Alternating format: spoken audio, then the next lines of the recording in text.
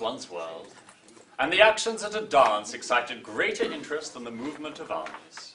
There lived a young woman who knew how this world should be run. Encouraged Mr. Weston to visit here more often, he might never have married Miss Taylor. Well, And we get on very well, we agree about almost everything. But I must own that I am not in love with Frank Churchill. And somehow you just dance off, off. You don't have a, a bridge here.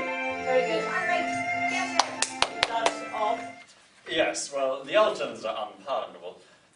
They seem to be wanting to aim more, uh, they aim at wounding more than just Miss Harriet.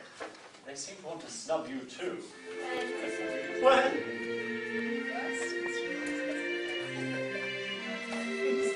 Where's that damn trial? There it is. I take thee.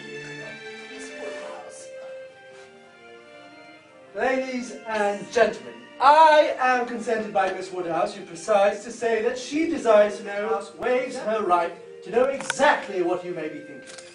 Shall we all play a game?